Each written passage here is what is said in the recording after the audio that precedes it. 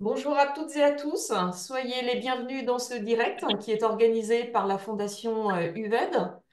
Donc, comme vous le savez, ce webinaire fait partie d'un cycle de directs qui vise à former les enseignants du supérieur aux enjeux de la transition écologique.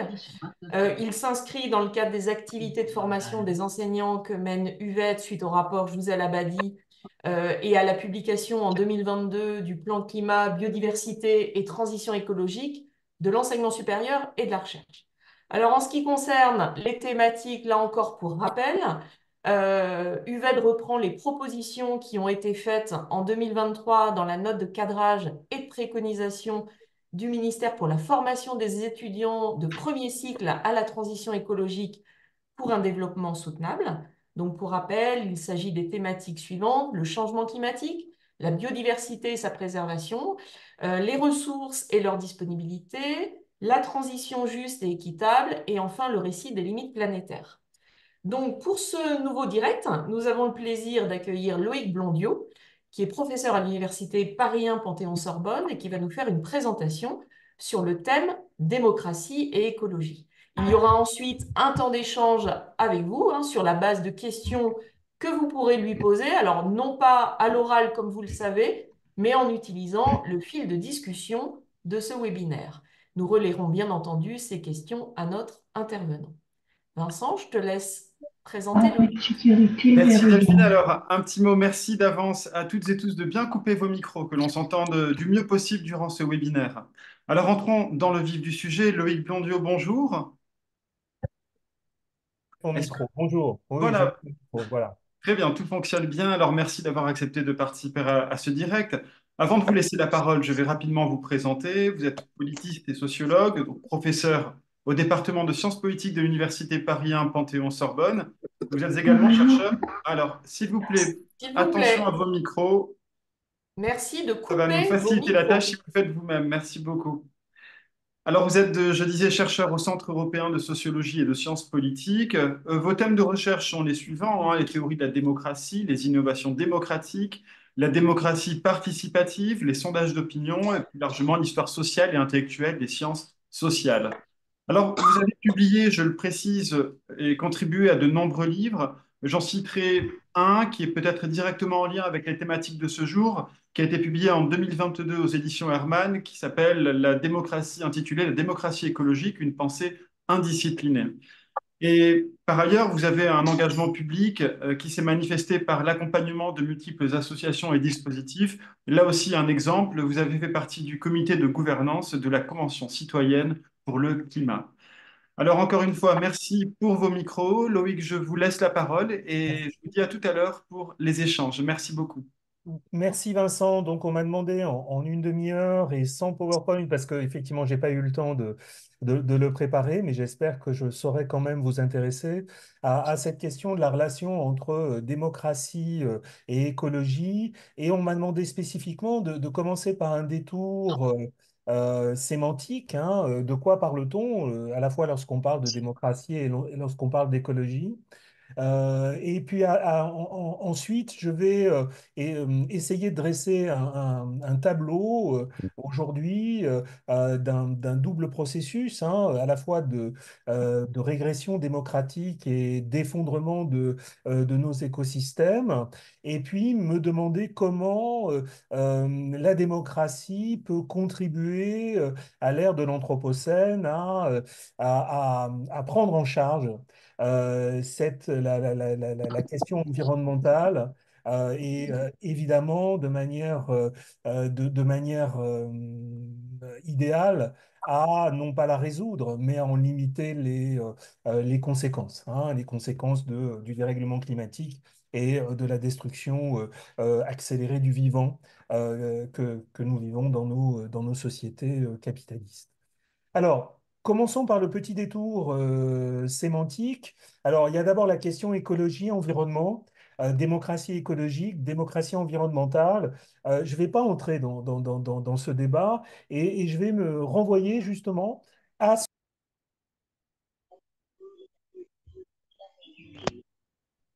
Il était pas...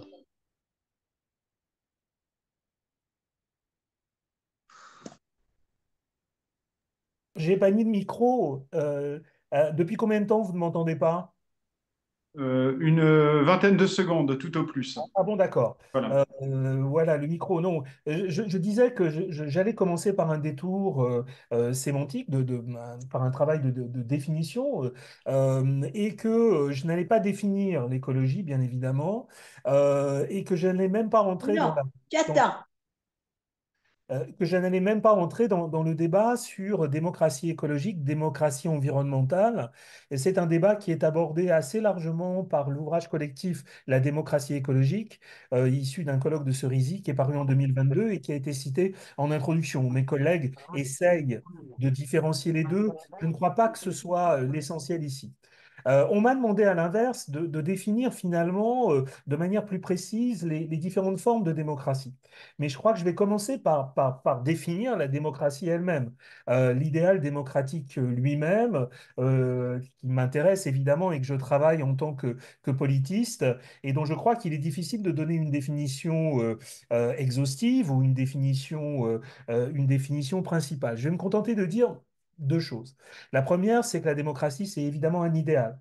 Un idéal euh, qui est présent dans, nos sociétés et un idéal qui se décompose euh, de trois manières, de trois manières assez différentes. Euh, d'abord, c'est un idéal d'autogouvernement. C'est le fameux gouvernement du peuple par le peuple pour le peuple.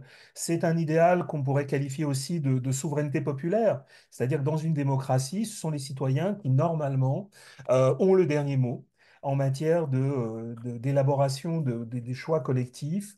C'est un- une forme de gouvernement, c'est une forme de régime politique donc, dans lequel les citoyens euh, participent en principe à égalité au processus de décision. Ça, c'est la, première dimension euh, de, de, de- cet idéal. C'est la première version de cet idéal démocratique. C'est évidemment la plus ancienne, celle qui remonte au VIe siècle avant Jésus-Christ et euh, euh, à l'exemple, au précédent de l'Athènes démocratique. La deuxième dimension, c'est la dimension euh, plus, euh, euh, plus récente de cet idéal. C'est celle qui a été élaborée à partir de la fin du XVIIIe siècle, de la philosophie des Lumières. C'est un idéal d'état de droit, c'est un idéal de li- liberté, c'est un idéal de garantie et de protection des libertés individuelles et collectives qui fait que nos démocraties ne peuvent pas se penser autrement que comme libérales. Et que euh, parler de démocratie illibérale, c'est un oxymore. Vous savez que à propos d'un certain nombre de régimes, notamment à l'est de l'Europe, on parle de démocratie libérale. Euh, certains euh, gouvernants, comme Viktor Orban en Hongrie, revendiquent même cette dimension libérale, mais c'est c'est en quelque sorte un non-sens, au sens où pour que euh, la participation effective des citoyens soit possible, pour que l'autogouvernement euh, du peuple ait un sens, il faut bien qu'il y ait une certaine garantie, protection des droits et des libertés individuelles et collectives pour éviter euh, la, tyrannie d'une majorité sur les minorités. hein. Donc, ces deux premières dimensions sont indissociables l'une de l'autre. La, démocratie comme pouvoir du peuple et pas seulement comme pouvoir majoritaire du peuple, et la démocratie comme, euh, comme euh, état de droit. Et puis il y a une troisième dimension à laquelle je tiens énormément, mais qui est souvent euh, oubliée, qui est souvent implicite, qu'on ne ressent pas le, besoin de, rappeler, c'est que la dé- démocratie, c'est aussi un idéal humain, euh, c'est un ethos au sens fort du terme, ça renvoie à un ensemble d'attitudes, euh, à un ensemble de valeurs, à un ensemble de comportements euh, qui répond à l'idée selon laquelle les citoyens sont égaux et également capables de participer aux choix collectifs et de défendre leurs valeurs. La démocratie comme ethos, la démocratie comme forme de vie euh, sociale, euh, c'est une dimension presque aussi importante que les autres, parce que la démocratie n'est pas seulement une affaire de droit, d'institution, c'est aussi une affaire de, euh, pratique citoyenne, c'est une affaire de, d'attitude, euh, il y a des valeurs démocratiques, il y a effectivement, par exemple, la, la- la- la- capacité d'empathie. Euh, ça, ça- ça renvoie aussi à des, euh, à, des, à, un imaginaire démocratique. Mais je ne vais pas entrer dans, dans- dans le détail de ces trois dimensions de, de l'idéal démocratique. Donc, dans aucun pays, à aucun moment, ces trois idéaux n'ont été atteints euh, véritablement. Euh, c'est la raison pour laquelle on ne peut penser l'état démocratique euh, d'une société ou d'une nation que sous la forme d'un continuum, c'est-à-dire d'une sorte de d'éloignement plus ou moins grand de, de cet idéal. Et ce qui est caractéristique aussi de la période actuelle, c'est qu'il y a une régression sur ces trois dimensions euh, et que finalement, il devient parfois très difficile de distinguer euh, une démocratie d'un régime autoritaire. Hein, il y a une sorte de zone grise aujourd'hui dans laquelle à se trouver, dans laquelle se, place aujourd'hui de plus en plus de régimes. Venons-en maintenant à la question environnementale. Et c'est là que je commence à développer mon, mon propos. Je vais partir d'abord, premier, premier, première partie, euh, de ce constat, de ce double processus d'effondrement. Effondrement de nos écosystèmes, au, effondrement des, des- équilibres euh, planétaires, hein, des équilibres physiques euh, euh, planétaires, liés au dépassement d'un certain nombre de limites planétaires qui met en danger évidemment la, la- capacité des, des humains à vivre une vie décente dans, dans, dans les années qui viennent, voire même pour certains actuellement ce, double, ce processus d'effondrement euh, des écosystèmes euh, euh, renvoie, ou en tout cas fait écho à euh, l'effondrement d'un modèle de démocratie. Alors, euh, euh, ah oui, j'ai oublié de, de spécifier ces démocraties. C'est ce que m'avaient demandé euh, Vincent et, et Delphine, et je vais le faire. Euh, il y a trois quand même, parmi... euh, Excusez-moi de revenir en arrière, mais euh, par rapport à, ces, idéaux démocratiques, il y a une multitude de déclinaisons, il y a une multitude de, versions, euh, une multitude de locutions qui historiquement se sont accumulées. Et parmi toutes ces versions, il y a trois versions. Euh, qui euh, aujourd'hui euh, sont souvent opposées, euh, qui sont souvent évoquées. D'abord, il y a la démocratie représentative. La démocratie représentative, c'est ce qui apparaît aujourd'hui comme le modèle, le, le- le modèle dominant à l'échelle de la planète, et c'est un modèle tout à fait paradoxal, parce que c'est un modèle qui a une histoire très particulière. C'est euh, un- une forme de régime politique dans lequel finalement les citoyens ne participent euh, essentiellement que par l'élection, ils désignent des gouvernants, et c'est un régime qui a été inventé à la fin du XVIIIe siècle contre la démocratie euh, dans sa version originale. Pas, ce modèle a été inventé aux États-Unis et en France à partir de, de la seconde moitié du XVIIIe siècle par des gens qui rejetaient la démocratie, qui haïssaient la démocratie, pour reprendre l'expression de Jacques Rancière, qui détestaient la démocratie.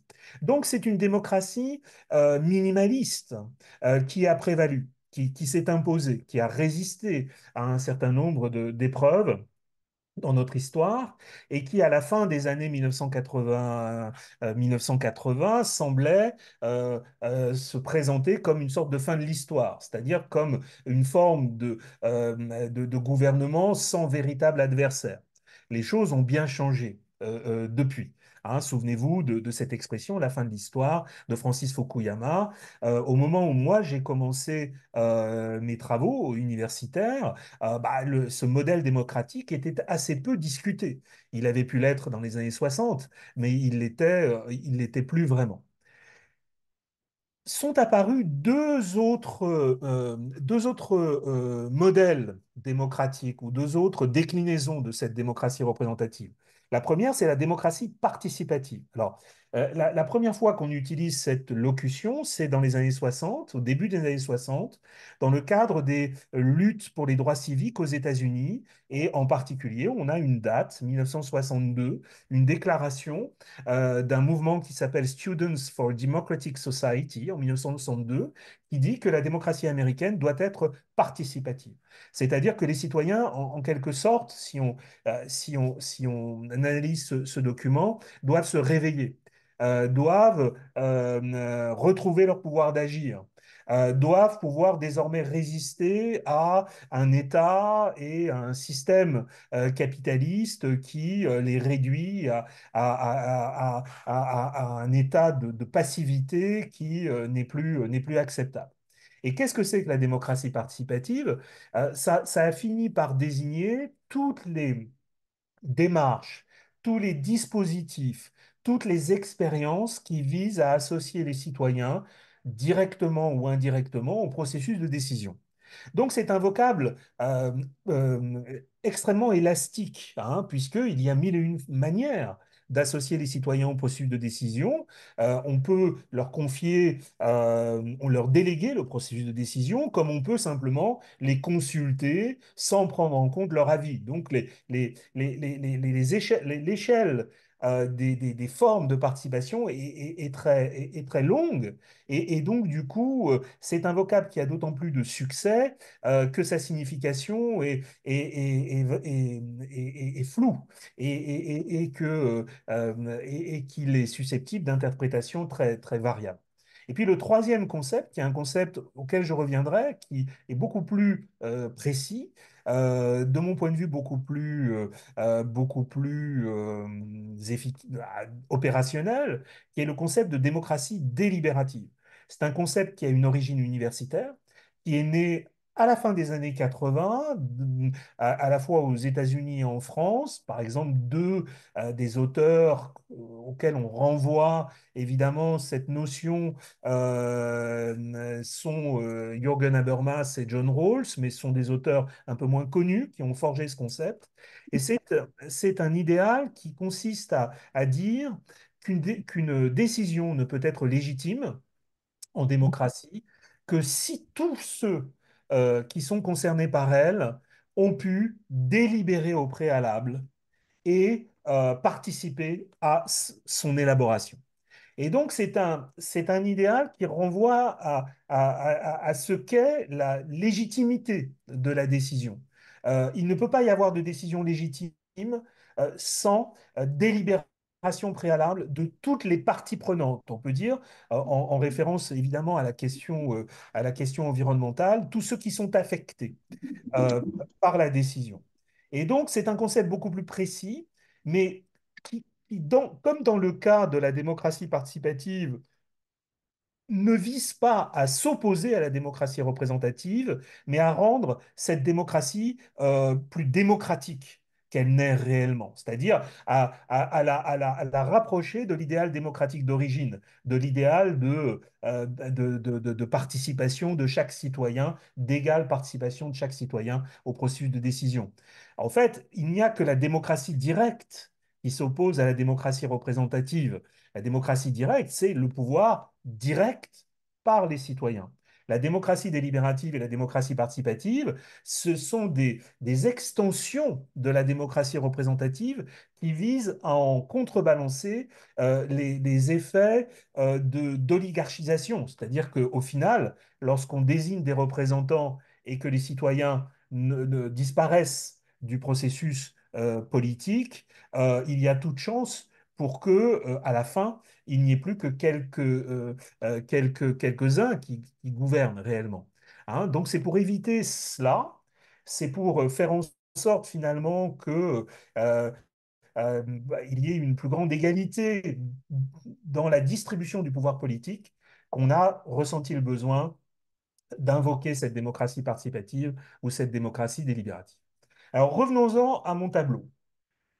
Effondrement de la démocratie euh, elle-même, bon, j'y reviendrai pas. Hein, Aujourd'hui, il y a une régression à tous les niveaux, la montée de l'extrême droite, euh, le recul des libertés, euh, la, brutalisation du débat politique contribue évidemment à cette fragilisation des démocraties représentatives, mais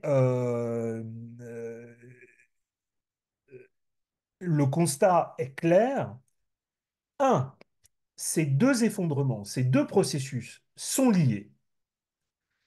Moins la démocratie sera forte, moins elle sera stable, euh, euh, moins les citoyens auront confiance dans euh, leurs et plus on aura de difficultés à affronter euh, la crise environnementale, les, les multiples crises environnementales auxquelles nous sommes confrontés. Ça, c'est un premier point, c'est-à-dire que euh, euh, euh, l'affaiblissement des institutions de la démocratie, qui est clair, on pourra y revenir, ne nous permet pas, me semble-t-il, de traiter correctement cette démocratie, cette,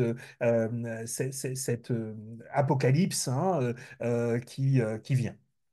Et puis, je, retire le terme apocalypse, mais on voit très bien à quoi ça, renvoie. Et inversement, le, le, le dérèglement climatique, la destruction du vivant contribuent à fragiliser les institutions. C'est-à-dire qu'il va devoir être de plus en plus compliqué de se gouverner démocratiquement dans un monde devenu de, aussi incertain, aussi dangereux, aussi instable que celui euh, que créent euh, ces, deux, ces, phénomènes climatiques et ces phénomènes, euh, ces phénomènes naturels. Hein.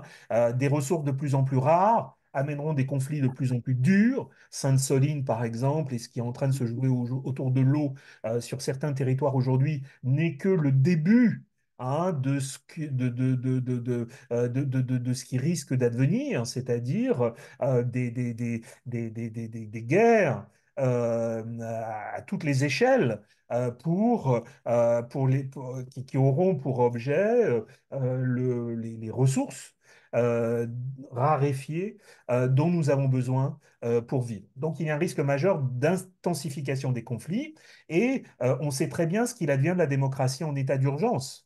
Et dans cet état d'urgence permanent qui est en train de s'installer, eh ben, ces démocraties, elles, elles, elles, elles, ne peuvent pas résister. Elles peuvent résister, on l'a vu avec le Covid, euh, mais elles ne peuvent pas résister. Et on voit bien comment, pour euh, répondre à ces situations d'urgence, euh, on assiste à un, durcissement du, pouvoir, à une centralisation de la décision et à des dérives, notamment en matière de liberté.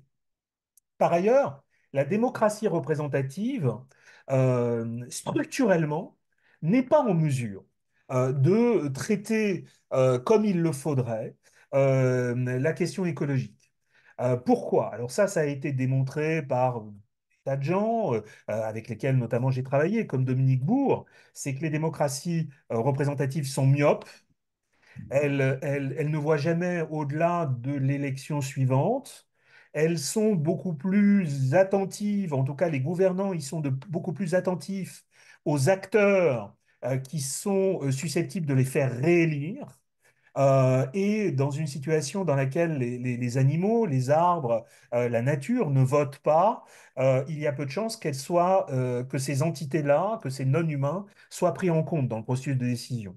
Pas plus que pour le long terme.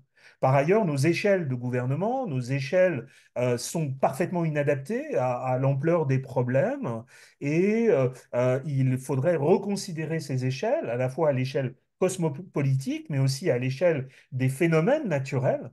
Hein, tout l'enjeu, par exemple, de ce qu'on appelle les, les biorégions, hein, pour, pour s'adapter finalement aux problèmes qui nous sont posés. Et puis, dernier point extrêmement important, l'emprise du système capitaliste sur euh, ces démocraties représentatives est telle, alors je dis emprise, mais, je voudrais, il faut dire intrication, c'est-à-dire que, euh, grosso modo, euh, à la fois à travers l'influence des groupes d'intérêt, à travers l'homogénéité sociale du personnel politique, et économique. En fait, ces gens-là, en fait, circulent d'un univers à une autre à travers un alignement des valeurs euh, euh, et, qui, s'est accentué avec le, euh, la, victoire du néolibéralisme, hein, l'hégé- l'hégémonie du néolibéralisme, il y a très peu de chances pour que ces démocraties représentatives remettent en cause de manière suffisante les logiques euh, actuelles du capitalisme, euh, des échanges, euh, de, euh, de, de, de, de, l'extraction hein, des, des, des ressources les logiques aussi qui conduisent les citoyens à surconsommer. Et donc, on, pour reprendre, je, je ne sais plus qui avait prononcé cette phrase, mais qui me paraît très juste, il est plus facile d'envisager la fin du monde que la fin du capitalisme. On voit mal comment il pourrait y avoir une réponse à la hauteur des enjeux en termes de, politique de transition écologique euh, de la part avec un, système politique euh, comme celui-là. C'est-à-dire que la démocratie représentative, non, euh, ne veut pas ou ne peut pas traiter cette question. Alors, est-ce qu'on peut envisager l'autoritarisme, hein, cette fameuse tyrannie bienveillante de Ancionas, avec euh, évidemment certains qui pointent vers la Chine pour dire que la Chine euh, développerait des politiques plus efficaces. Tout ça, évidemment, euh, ne tient pas. Cette, cette idée que euh, dictature bienveillante, qu'elle soit des experts ou qu'elle qu'elle vienne euh, d'acteurs politiques euh, bien intentionnés, tout ça n'a pas de sens. À aucun moment de l'histoire, l'autoritarisme n'a véritablement poursuivi l'intérêt général. Et on, voit mal comment on pourrait considérer cette dictature euh, des experts comme, euh, comme pensable. Et donc, la conclusion à laquelle j'en viens, et, c'est tout le sens de mon propos, et c'est tout le sens de mon engagement aussi, euh, en introduction, on a évoqué ma participation à la Convention citoyenne pour le climat, mais je participe à de très nombreuses expériences qui essayent d'étendre le domaine de la démocratie et de faire advenir euh, euh, cette démocratie de la rareté, ou cette démocratie euh, du vivant, ou cette démocratie anthropocène, en prenant au sérieux, mais en essayant de trouver des solutions démocratiques à la question environnementale.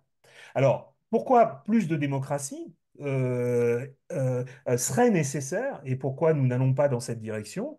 Pour que les décisions qui sont prises ne soient pas injustes. On l'a vu avec la taxe carbone. hein, euh, euh, bah, si les citoyens avaient été associés à l'élaboration de cette taxe carbone, il est peu probable qu'on aurait eu euh, quelque chose d'aussi, un, rejet aussi massif que celui des Gilets jaunes, parce que euh, les citoyens sont parfaitement capables, me semble-t-il, euh, de viser l'intérêt général. C'est la grande leçon de la Convention citoyenne pour le climat, par-delà les intérêts particuliers. C'est-à-dire que euh, toutes les fois où on a essayé de les embarquer dans, le processus de décision, eh ben, on s'est aperçu que euh, ça permettait, me semble-t-il, contrairement à une vision naïve de, la démocratie, de les responsabiliser et euh, de d'assurer euh, une meilleure recherche de l'intérêt général. Et puis, il y a des arguments qui renvoient à l'idée d'intelligence collective qui me paraissent importants. Alors, vous allez me dire, il existe une démocratie environnementale? Oui, elle existe dans notre droit, dans notre système politique.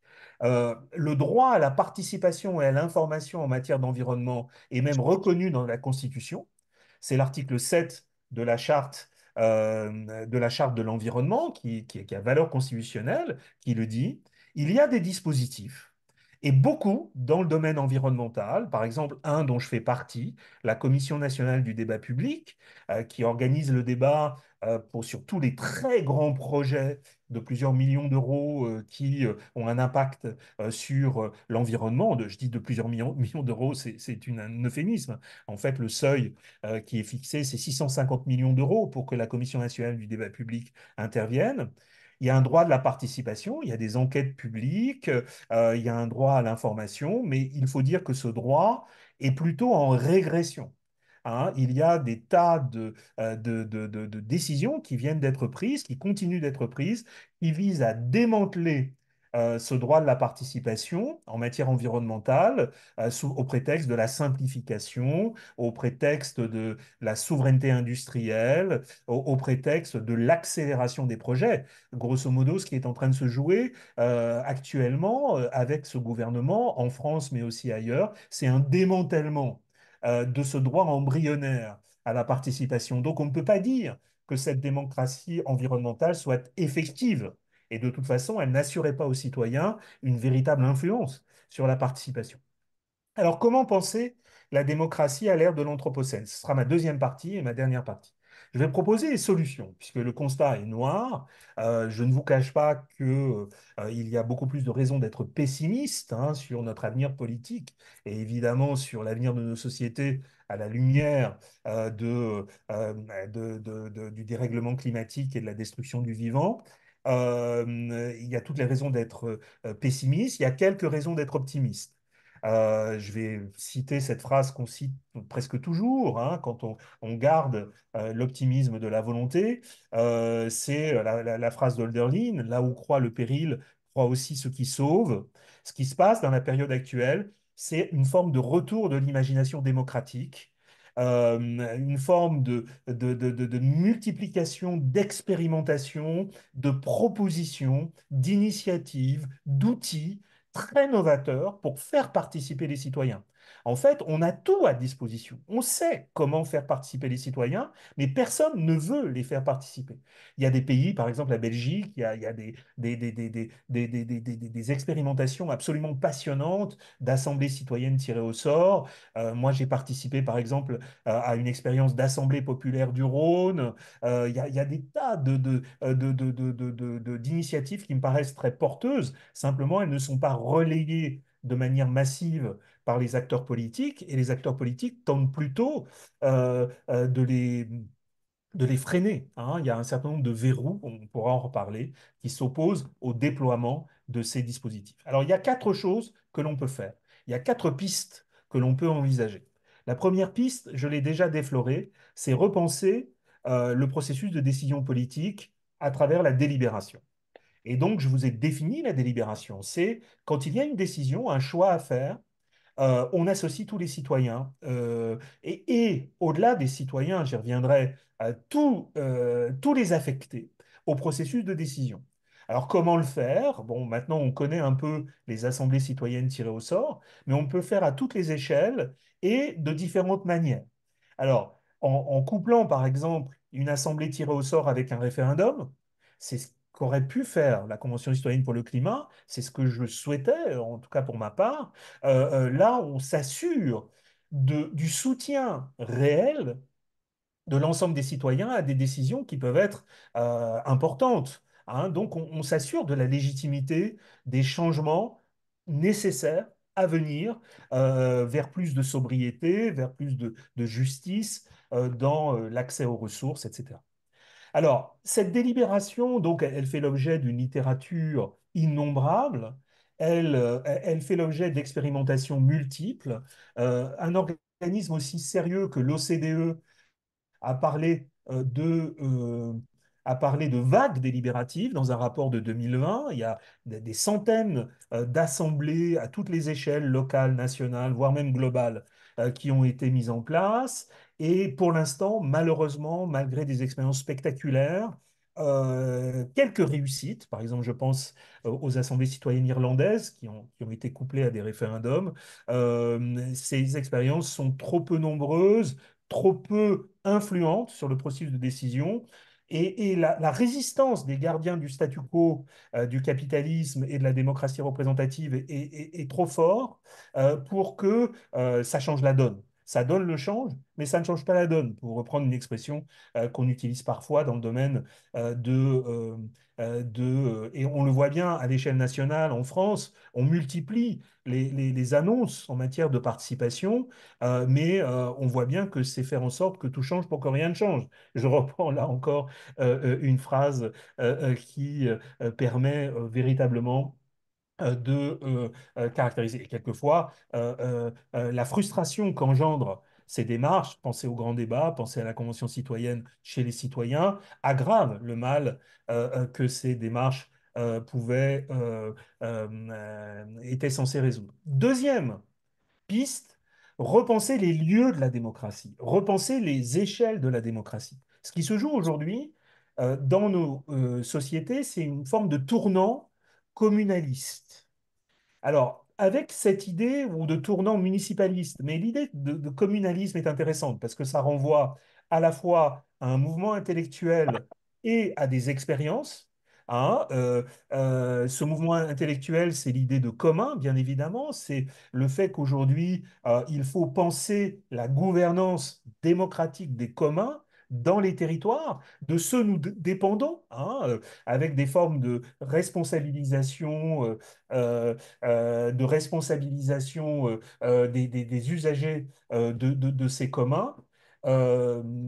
Et donc, voilà, quelques, éléments de, de- perturbation. Et ces, ces- communs peuvent être pris en charge à l'échelle de communes. hein. Donc il y a, euh, grosso modo, l'idée derrière tout ça, c'est l'idée que c'est à l'échelle locale qu'on peut changer les choses.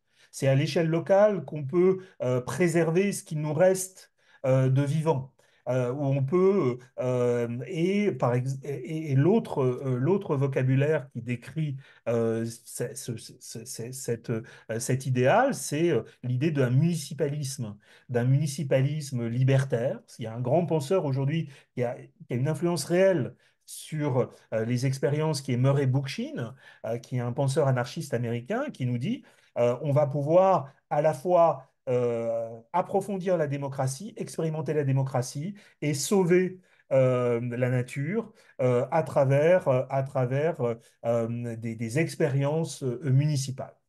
Les difficultés, elles sont innombrables. Il y a la question de l'institutionnalisation de ces dispositifs dans un contexte juridique et politique qui leur, qui leur sont hostiles.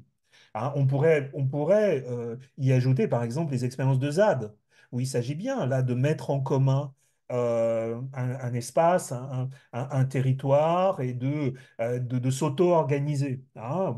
Mais très peu d'expériences d'institutionnalisation pro- probantes euh, y compris à l'échelle internationale, le Rojava, le Kurdistan syrien, évidemment pour des raisons géopolitiques, liées à un contexte de guerre, est une expérience qui est en train de, disparaître. Le Chiapas au Mexique, hein, même chose. Euh, le mouvement zapatiste euh, est affaibli, donc on a très peu d'e- de- d'expériences probantes. Et puis, euh, il y a une vraie, il y a deux, autres difficultés. Il y a la question de fédérale, comment penser la fédération de ces expériences, faire en sorte qu'elles ne se, qu'elles ne fonctionnent pas comme des entités isolées? C'est pas du tout une évidence dans, le système qui est le nôtre, à partir de l'État-nation, qui est, celui qui assure pour l'instant euh, toutes les formes d'interdépendance et de solidarité. Euh, donc, euh, il y a une vraie, problématique de, de fédéralisation de ces mouvements. Et puis, il y a la question de l'urgence.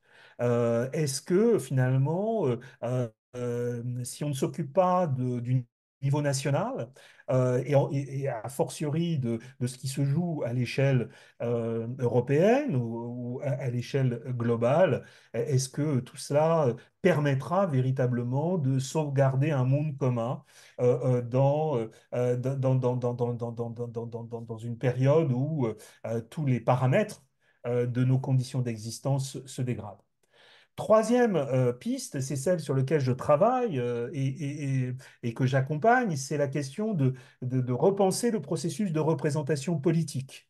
Euh, c'est ce qu'on pourrait appeler la voie de la démocratie du vivant de deux manières. La première, on l'a déjà fait, effectivement, cette vision archaïque de la représentation dans laquelle on délègue à des gouvernants euh, le soin de parler et d'agir en notre nom, cette vision archaïque aujourd'hui est dépassée. Il y a plein de citoyens qui n'y croient plus, qui ne veulent plus déléguer euh, leur pouvoir. Mais il y a aussi la nécessité de penser euh, une extension du processus de représentation et de, de- d'abandonner une vision anthropocentrée de la représentation. Lorsque je parlais de- de- de- de la représentation de tous les affectés, euh, j'envisageais bien évidemment le non-humain dont nous dépendons euh, les, entités naturelles de- de- de- desquelles, de, de- de- de- de- de- de la survie desquelles euh, notre propre survie dépend. Donc il est impératif d'assurer une représentation du vivant dans l'ordre politique et dans l'ordre juridique.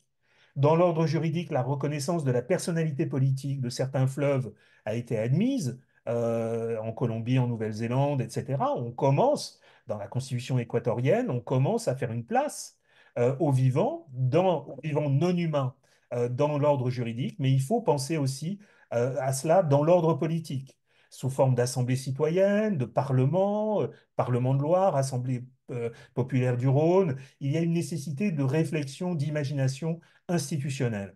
Euh, et pour moi, c'est quelque chose qui, qui, me, qui me, qui me, qui m'importe euh, particulièrement. On, est très loin véritablement d'avoir conceptualisé de manière suffisante le changement de nos institutions qui serait nécessaire pour que nous faisions une place aux intérêts du vivant par opposition aux intérêts économiques et financiers humains qui aujourd'hui dominent dans le processus de décision. Et puis, dernier point, et j'en terminerai par là, et on aura 20 minutes de discussion, repenser la notion même de liberté politique euh, ça, c'est un point, un, point essentiel.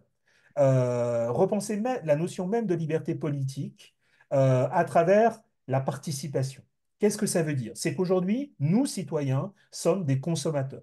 Consommateurs de discours politiques, mais aussi consommateurs de services, euh, de biens qui ont fini par euh, nous emprisonner, c'est-à-dire qui, ont fini par nous rendre esclaves.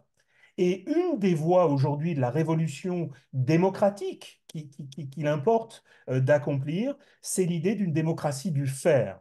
C'est celle que caresse par exemple une sociologue comme Geneviève Pruvot, qui dit, "C'est- ça n'est qu'en nous libérant par l'action, par la participation des esclavages dans lesquels le système capitaliste et la démocratie représentative nous ont placés, c'est-à-dire on, est dans une position de suggestion, hein, euh, euh, pure, et simple, puisque euh, nous ne sommes plus en, possibilité d'agir, que nous pourrons retrouver des formes d'autonomie. Et associé à l'idée de commun, l'idée de commun implique une dimension de responsabilité. Nous, avons en charge euh, euh, euh, ces communs. Je pense que cette démocratie du faire, cette politique du faire, puisque la politique du discours, évidemment, elle, n'impacte plus véritablement elle n'a pas d'effet véritablement et beaucoup de gens s'en éloignent. Donc, par la contribution, par l'agir, par euh, ce que Geneviève Cluot appelle la politisation du moindre geste, nous pouvons peut-être reprendre le pouvoir et reconstruire la démocratie. Mais nous en sommes très loin. Euh, la montée en puissance de l'extrême droite aujourd'hui dans nos sociétés euh, nous fait euh, aller collectivement euh, aux, aux, antipodes euh, de, euh, euh, ces, évolutions-là. Euh, il y a une brutalisation, je le disais, du débat politique. Euh, quand la peur euh, envahit euh, chacun d'entre nous, il est, il est, de moins en moins vraisemblable euh, que nous euh, puissions continuer à, agir de manière démocratique. Et euh, voilà. Je vous ai dit tout à l'heure, l'optimisme de la volonté n'empêche pas le pessimisme de la raison. Et il y a un vrai pessimisme de la raison dans la situation actuelle, à quelques jours de, des élections européennes. Voilà, j'en ai terminé. On peut ouvrir les questions. Je suis désolé, j'ai été long. J'espère ne pas vous avoir trop ennuyé, malgré l'absence de PowerPoint que je déplore euh, véritablement. Voilà. Loïc, merci beaucoup pour votre présentation.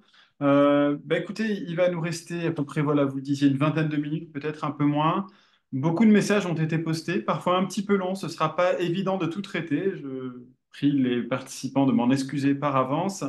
Euh, j'ai tenté de les regrouper en grandes catégories. Peut-être le premier point, qui aura peut-être valeur de rappel, parce que c'est un point que vous avez évoqué, Loïc. Ouais. Pourquoi la démocratie? Pourquoi plus de démocratie par rapport à nos enjeux environnementaux? Alors, deux éléments que, deux messages que je relais par rapport à ça. Euh, D'une part, dans l'histoire, alors l'histoire de France est prise comme élément de repère. Des grands progrès ont été organisés, des grands progrès org- organisationnels à l'échelle du pays ont été organisés sous la houlette de dirigeants très puissants. Et est-ce que ça veut dire qu'aussi, en dehors de la démocratie, point de solution pour les États par rapport à la crise écologique? Ou est-ce aller Ouais. bien trop vite en la, en la matière? Ouais, j'ai été un peu vite. Alors j'y vais. Oui, pour moi, il y a, un point de jonction entre, évidemment, cette démocratie ne pourra être opérationnelle, euh, ne pourra être opérante qu'à condition qu'il y ait un, cadre politique fixé par des gouvernants. Si on reste en démocratie représentative, et il y a toute chance euh, pour que, euh, nous- pour que nous y restions, il faudra une volonté politique. Euh, euh, ce que m'apprennent deux décennies de, travail sur cette participation, c'est qu'il ne peut pas y avoir de démocratie participative véritablement efficace à une certaine échelle sans impulsion, et cette impulsion, elle vient de leaders. Elle vient de leaders d'un type particulier, de leaders euh, qu'on pourrait dire de leaders démocratiques. Il y a toute une réflexion sur ce qu'est l'autorité démocratique. Mais oui, je suis tout à fait d'accord, il faut une vraie volonté politique pour mettre en mouvement les citoyens. Et il faut des instruments comme la planification. C'est-à-dire qu'aujourd'hui, euh, on a, on a vraiment caricaturé dans le discours politique cette idée de planification. Mais cette planification démocratique euh, qui implique euh, une consultation de, euh, de, tous les, de tous les acteurs sociaux, elle peut s'organiser, mais elle ne peut avoir de, d'efficacité que si elle s'associe avec un, un, un gouvernement qui choisit de l'appliquer et à la fin de, de l'imposer. Donc il y a des formes d'autorité démocratique qui doivent avoir lieu. Je suis absolument d'accord. Si on regarde à l'échelle locale, les territoires qui ont réussi à institutionnaliser la participation sont des territoires qui ont à leur tête des chefs charismatiques. C'est un des plus grands paradoxes qui soit. Mais des chefs qui ne sont pas là par amour du pouvoir, mais qui sont prêts à redistribuer ce pouvoir.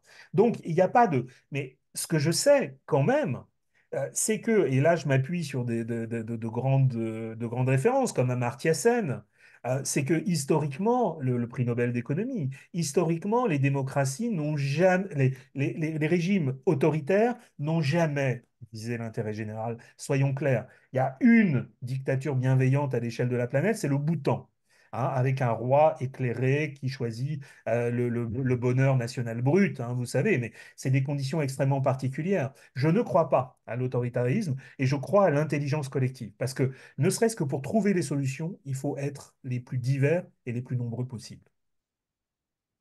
Merci pour ces, ces, éléments de réponse. Euh, Pourrions-nous faire un petit détour vers la Convention citoyenne sur le climat? Alors, euh, savoir déjà ce que représente finalement ce dispositif à vos yeux. Qu'est-ce qu'il y a de, de prometteur? Qu'est-ce qu'il y a Ouais. d'inachevé? Euh, Comment voyez-vous ce dispositif quelques années après sa mise en place? Alors, le, bilan, il est forcément en demi-teinte. C'est-à-dire que le, dispositif lui-même, tout le, processus lui-même, euh, avec des imperfections que je reconnais très volontiers, notamment, par exemple, la, principale imperfection, c'est dans la, manière dont nous, au comité de gouvernance, n'avons pas pu euh, clairement expliquer le choix des experts euh, que nous avons mis en contact avec les citoyens. Mais on aurait pu le faire, on ne l'a pas fait, mais on a, on, a, mobilisé 130 euh, experts ou, acteurs, donc il y avait une vraie diversité, mais on aurait dû anticiper les critiques qui nous ont été faites. Le processus est robuste. Qu'est-ce qu'il a démontré? C'est que les citoyens, quand ils sont responsabilisés, c'est-à-dire que quand on leur fait confiance, quand on, euh, quand on les informe aussi, bien évidemment, c'est-à-dire que les citoyens seuls et sans l'appui des experts ne peuvent pas produire véritablement euh, des choix euh, des, choix pertinents. À condition qu'ils soient informés, ils se mettent au niveau de l'intérêt général. Ils abandonnent leurs intérêts particuliers. Ils raisonnent. Ils raisonnent. La, supériorité de la démocratie délibérative avec les citoyens, c'est qu'elle produit des décisions plus rationnelles et, d'un certain point de vue, euh, que nous considérons comme plus euh, légitimes, au sens où elles ont pris en compte finalement les perspectives euh, les plus diverses au sein de la société.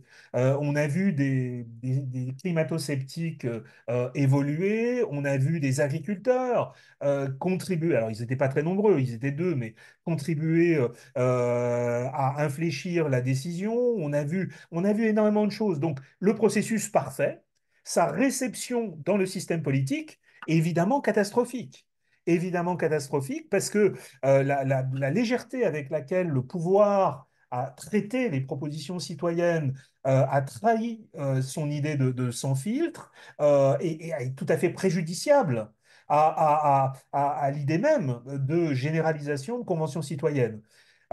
Deux, deux éléments quand même pour moduler ça. Ce qui démontre, à contrario, et je le sais, à contrario, lorsqu'il y a une volonté politique et lorsqu'il n'y a pas de duplicité du pouvoir, ça marche. Parce que les citoyens sont au rendez-vous. Si les politiques sont au rendez-vous aussi, ça marche. On, change fondamentalement, et dans certaines villes, euh, à l'échelle européenne, euh, dans certains pays, etc., il y a, il y a des transformations qui peuvent s'opérer. Donc, ce n'est pas désespéré. C'est avec ce gouvernement-là, avec euh, cette légèreté-là, avec le fait que, bon.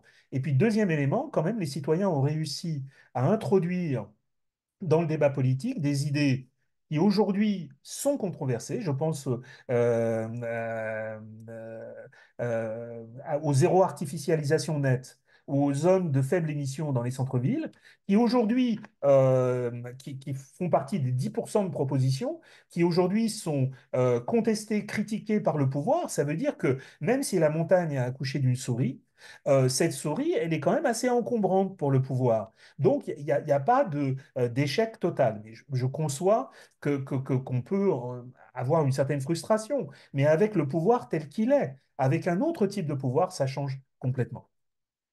Alors, vous l'avez évoqué dans votre présentation, et beaucoup de messages aussi ont porté sur les limites, les critiques qui pouvaient être faites, mais surtout les limites qui pouvaient être faites pour le déploiement des modèles de démocratie participative, voire délibérative. Euh, le premier porte sur la complexité des systèmes, la complexité des sujets aussi à aborder. Vous avez posé la question de à quelle échelle délibérer. Une autre question pourrait être sur quel sujet délibérer finalement, pour ne pas aller vers d'autres directions. Un deuxième aspect, parce que je vais regrouper voilà, trois, trois points qui me paraissent importants. Euh, les temps et les possibilités d'implication des citoyens sont limités. Voilà. Donc, euh, comment euh, dégager justement euh, à la fois du temps Alors, on pourra peut-être basculer ensuite sur l'éducation, la formation qu'il y a en amont. Ce sera pour la fin que je garde ça. Et enfin, cette idée d'une démocratie délibérative participative, comment est-ce qu'elle est perçue du côté des experts, des élites économiques qui, ben, forcément, elles ont peut-être moins de prise sur ces processus dont vous venez de parler c'est évident, alors ce sont tous de très bonnes questions, bien évidemment. sachez que moi, je, je, fais une présentation qui tend à, insister sur les possibles et qu'effectivement, je suis extrêmement conscient des limites. C'est-à-dire que j'ai une analyse de sociologue qui est euh, par définition critique hein, de, euh, de ces démarches. J'essaye de, repérer les conditions euh, qui permettent ou ne permettent pas à ces démarches de, produire les effets qu'on en attend, mais je ne suis pas dupe effectivement de la difficulté. Il y a un argument avec lequel je ne suis pas complètement d'accord, c'est l'argument de la complexité. C'est l'argument qui a toujours été défendu par ceux qui voulaient retirer euh, le pouvoir aux, citoyens, c'est-à-dire au nom de l'incompétence et au nom de la supériorité de leurs compétences. Les citoyens, en fait, qui a dit et qui a, qui a, a, considéré que les politiques étaient forcément plus compétents politiquement que les citoyens? En fait, il ne s'agit pas pour les citoyens de devenir des experts, il s'agit pour les citoyens de juger politiquement d'un certain nombre de problèmes à partir d'une information pertinente. À partir d'une. Ils sont dans la même position que les, que, les politiques. Alors, ils ont en deçà des politiques le fait de ne pas être élus. Ce qui fait que moi, je ne préconise pas le remplacement euh, de, de, de, la participation citoyenne, de, euh, de, la démocratie représentative par la participation citoyenne. Non, ils ont cette supériorité massive d'être élus par de moins en moins de gens. Soyons d'accord quand même. Hein un, un élu qui, à l'échelle locale, a été élu par 10% de la population adulte euh, de, de, sa ville ne peut plus se réclamer quand même d'une euh, légitimité euh, aussi forte qu'autrefois. Mais il n'y a pas de sujet trop complexe pour être délibéré par les citoyens. On l'a vu sur la fin de vie. En fait, le sujet de la fin de vie est en fait encore beaucoup plus complexe dans, ses dimensions éthiques, sociologiques, etc., que, que le, et, et, les citoyens se sont, sont placés à la hauteur ils ont été aidés. Ils ont été aidés par des experts, mais il n'y a pas de sujet trop complexe. Sinon, on renonce à la démocratie. Sinon, on renonce complètement à l'idée démocratique. Euh, tous les adversaires de la démocratie ont utilisé cet argument. Euh, moi, j'ai des collègues hein, politistes américains euh, qui disent ah, les citoyens sont nuls en économie. Non, ils ne sont pas nuls en économie. Ils savent évaluer les effets sociaux et en termes de justice des différentes politiques économiques. Hein, et, donc, non, non, pour moi, ça n'est pas un bon argument. Il n'y a pas de sujet trop complexe. Et si on voit le niveau moyen de nos élus qui a tendance à se dégrader, euh, on peut considérer qu'il y a souvent dans la société euh, des gens beaucoup plus au courant euh, des, problèmes et, capables d'une pensée beaucoup plus complexe que, nos élus. Alors le temps, le temps de cerveau disponible, le temps disponible dans une société capitaliste qui a orienté toute l'activité humaine vers la sphère économique, que ce soit pour produire ou pour consommer. Hein, puisque quand nous ne produisons pas, nous sommes incités à consommer. Avec des industries de l'attention, euh, des industries culturelles, avec les réseaux sociaux, euh, qui ont réussi ce prodige euh, de, de, de, de, nous empêcher de penser. Hein, et, et, je me mets dans le tas. Hein, les, réseaux sociaux aujourd'hui sont des machines à nous empêcher euh, de réfléchir, à nous empêcher de, penser. Euh, la démocratie devient de moins en moins l'activité démocratique. Les formes de vie démocratique que j'appelle sont de moins en moins possibles. C'est un vrai problème. Est-ce qu'il faut euh, articuler cette révolution démocratique avec euh, une réflexion sur le temps, sur le, salaire minimum ou sur un temps citoyen ou un statut du citoyen? Dans les milieux de la participation, nous réfléchissons à un statut du citoyen. Euh, voilà, c'est impératif, mais ce qui me rend complètement pessimiste, c'est la dégradation de nos capacités d'attention générale et euh, nous n'avons plus le temps de penser. Euh, voilà, ce, temps qui, avait été théorisé. Hein. Alors, par les, Athéniens, bien évidemment, par les Grecs, ils il s'étaient débrouillés avec l'esclavage pour ne plus avoir à, penser à autre chose. Donc, on ne peut plus restaurer l'esclavage, bien évidemment, même si la robotisation euh, pourrait, euh, pourrait nous décharger d'un certain nombre de, euh, tâches. mais ce temps que les Romains appelaient l'osium, c'est-à-dire ce temps de, de, de, la culture, ce temps de, de la réflexion, il nous est de plus en plus enlevé. Donc ça, c'est un vrai souci hein, dans, dans, dans le décor. Et alors, l'attitude des, économistes, des, des, leaders économiques, évidemment que, par définition, aujourd'hui, le système fonctionne au profit de, des détenteurs du capital. C'est-à-dire que, grosso modo, c'est devenu un gros mot de, réfléchir en, ces termes, mais, c'est les seuls qui sont vraiment opérants pour penser la situation. Les détenteurs du capital n'ont pas intérêt à ce qu'il y ait plus de démocratie, c'est clair. Sauf la démocratie du, euh, consommateur, du pouvoir d'achat, euh, voilà, qui, qui, qui décide. Mais ils n'ont aucun intérêt à le faire, puisque aujourd'hui, ce sont eux qui gouvernent très largement par leur capacité à être des veto players, c'est-à-dire à empêcher euh, des choix politiques qui iraient trop directement euh, euh, en leur défaveur. Donc, pour eux, évidemment, cette révolution démocratique n'est pas forcément désirée, et puis ils peuvent l'instrumentaliser. Et puis pour les experts, non, les experts, par définition, n'aiment pas véritablement la démocratie. Parce que, évidemment, et surtout les experts à la française, for formés par les grandes écoles, et, là on en arrive au plan d'éducation, qui est quand même un plan abso absolument euh, central, euh, notre système élitiste, puisqu'il est élitiste, et, et ne, nous voilons pas la face, euh, à l'image aussi de, du système anglais, il produit une élite qui est prête à gouverner, mais qui en aucun cas n'a les réflexes euh, démocratique qu'il faudrait, c'est-à-dire cette élite, hein, cette élite produite par les grandes écoles, cette élite du diplôme. Hein, vous savez, il y a un très beau livre qui s'appelle Diploma Democracy, qui n'a pas été traduit en français, qui montre qu'aujourd'hui, ceux qui ont le pouvoir sont les diplômés. Et bien, cette élite démocratique, elle n'est pas du tout favorable en général, a priori, à la participation. Moi, j'ai vu des, ingénieurs, par exemple, changer, euh, mais euh, en cours de processus démocratique. Euh, mais il y a évidemment une résistance très forte, puisqu'on leur a appris qu'ils étaient les meilleurs, les plus intelligents, et qu'ils euh, qu avaient la solution à tous les problèmes. Alors, dans la solution, il y a la formation, l'éducation et la formation. Parmi les participants aujourd'hui, beaucoup enseignent, interviennent dans, au niveau du, du supérieur, de l'enseignement supérieur. Ah. Euh, comment, euh, comment aborder, comment faire vivre ces questions? Et pour rebondir sur votre démocratie par l'action que vous avez évoquée tout à l'heure, est-ce qu'il y a des processus de démocratie participative, délibérative qu'on peut expérimenter à l'échelle des campus? Là, vous avez, on, peut, on, peut, déborder un peu sur 18 heures parce que je pense que c'est un sujet important. On peut prendre peut-être 5 minutes de plus pour euh, aborder ce point-là.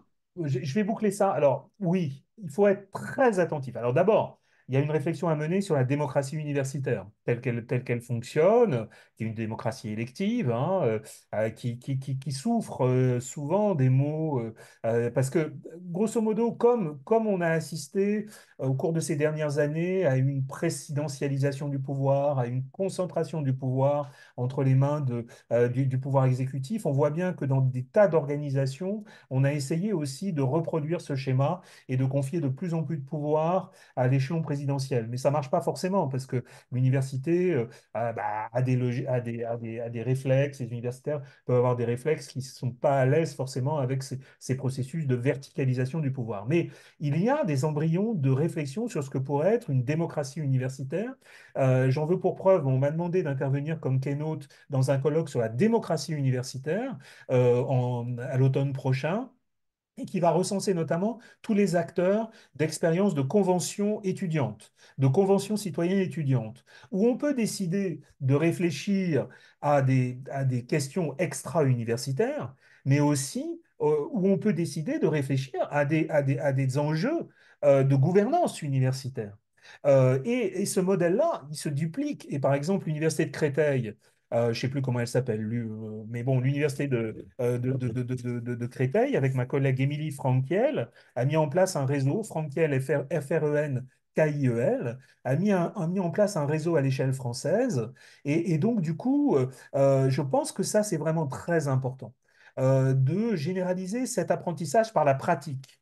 Parce que si on raisonne sur l'éducation, grosso modo, euh, la, comment dire, la, réflexion théorique sur la participation, elle, produira toujours des effets extrêmement limités. hein, euh, euh, par, définition. Mais l'apprentissage pratique, c'est pour ça que, par exemple, je dirige à, la Sorbonne, à Paris 1, un master d'ingénierie de la concertation, et moi j'enseigne à mes étudiants la, vraiment la, démocratie, c'est-à-dire la, conception, l'innovation démocratique, et ça n'est plus du tout un enseignement théorique. Bon, j'espère que ça vous a intéressé. Je- J'en sais rien, j'ai pas vu les commentaires parce qu'on on peut faire les deux. J'espère si vous avez des retours à me faire après, euh, n'hésitez pas. Bien Euh, sûr, je, on a, on a je vous enverrai, je vous enverrai tout ça. Peut-être juste avant de, de conclure, euh, peut-être sera-t-il utile que vous nous transmettiez des liens pour approfondir certaines des initiatives dont vous venez de parler. Je Ouais, pourrai les déposer dès demain avec le replay de cette, euh, de ce direct. En tout cas, Loïc, merci infiniment pour cette présentation. C'était très riche. Alors, je vous rassure, les messages sont nombreux et sont unanimes. ouais, C'était très riche, très utile, très intéressant. Je pense que les objectifs sont atteints, mais c'est une première étape, en tout cas, parce qu'on voit qu'il y a beaucoup d'idées. Et peut-être qu'il faudra aussi y revenir, les brasser par l'action, par la, la réflexion, de différentes manières. En tout cas, voilà, dès demain, le replay sera disponible sur euh, le site, sur le portail UVED, comme d'habitude, ainsi que sur notre chaîne YouTube UVED. Delphine, euh, je te laisse la parole pour le mot de la fin. Loïc, merci beaucoup. Je vous en prie. Merci infiniment, Loïc Blondiot. Merci à tous les participants, nombreux ce soir. Je crois que effectivement votre direct a été apprécié. Euh, j'ai vu passer aussi des messages comme quoi euh, nous pourrions y consacrer encore des heures et peut-être que nous ferons encore appel à vous. Euh, du coup, pour compléter ce, euh, ce webinaire, euh, puisque nous, euh, nous avons encore euh, bien d'autres choses et à, à, à- à débattre sur ce sujet. Euh, pour l'instant, nous n'avons pas de prochain direct à annoncer. Euh, mais nous vous tenons informés donc au plus vite dès qu'une date euh, sera programmée.